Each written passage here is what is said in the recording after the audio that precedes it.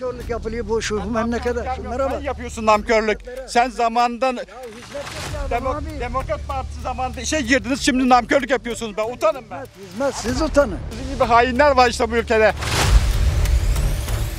Buradaki milletvekiller boşuna oturmasın orada. O AK Parti milletvekilleri boşuna oturmasın. Tayyip Bey çıkıp da bu millet böyle diyemez, demesin yani. Bir gün olur o da yok olur gider. Ama vatandaşın halini düşünmesi lazım. Peki 2023'te dengeler değişir. Valla bu millet eğer şey yaparsa değişir tabii. Milletin elinde. Nasıl millet AK Parti'yi o gettiyse baş- başa eğer millet akıllanırsa şey yapar. CHP'ye gider millet. Tabii canım. Tabii memnunum canım. Böyle vatandaşlar milleti şey yapıyor işte. Bu memnunsa tamam. Kendi bilecek o zaman. Memnunum tabii canım. Ne zam tabii yapacak devlet. Devlet o kadar hizmet yapıyor. Şuna bak şu oturduğun yere. He hiç böyle bir parti zamanında gördün mü böyle yer? Şöyle şöyle bir yer gördün mü şimdiye kadar? Yaşın kaç? Ben memnunum. Hizmet yapan zam yapar. Hizmet yap zam yapmış hizmet yapmadıktan sonra bana ne ya? Bana ne? Hiç zam yapmamış. Aç millet. Ya anla nam, namkörlükten. Bunlar ne olacak? Ben 30 yıl kendi işimden emekli oldum. Böyle bedava emekli olmadım. Bunlar bedava emekli oldu. Sor.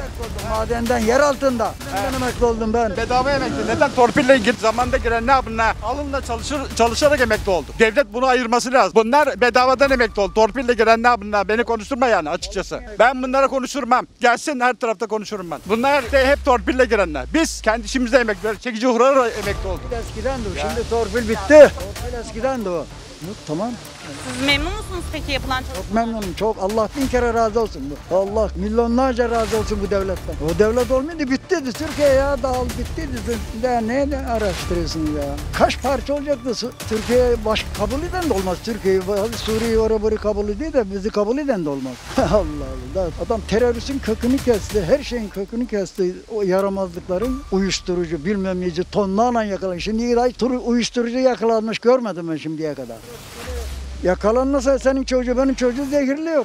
Valla 10 kişide bir kişi. Çıkın şöyle piyasaya 10 kişide bir kişi. Ben memnun değilim hayatımdan. Kendi işimden emekli oldum. Aldığım maaş 2, 2400 lira para. Peki 2023 2023 seçimlerinde yine AK Parti AK Parti vereceğim canım o ölmedikten sonra tamam. Başka kime vereceğim? iktidara yine AK Parti Murat'ı nerede bulacağım? Burada şimdi adam cebinden geliyor parayı soyuyordu. Daha sonra giderken yol, evden çıkamıyordum ben. Abi, abinin kuvvetli yeri vardı. Onun dayandığı yer vardı. Allah'tan başka kimseye dayanmıyorum ben. Sizin gibi. Allah Allah var. Bizim Allah'ımız var. Sizin gibi AK Partili değiliz biz. Allah'ımız var bizim. Namkörlük yapılıyor bu şu memlekete. Şunlara bak. Sen yapıyorsun namkörlük. Sen zamandan Demo- Demokrat Partisi zamanında işe girdiniz şimdi namkörlük yapıyorsunuz. Ben utanın ben. Siz utanın. Soygunu eskiden mi soygunlu? Şimdi memleket kalkın. Sen uçağını kendin yapın, tankını kendin. İsrail'e gönderiyordun de tankları, tankları İsrail'e gönderin de vermiyor tankı. Sizin gibi hainler var işte bu ülkede. Aha böyle hainler var işte.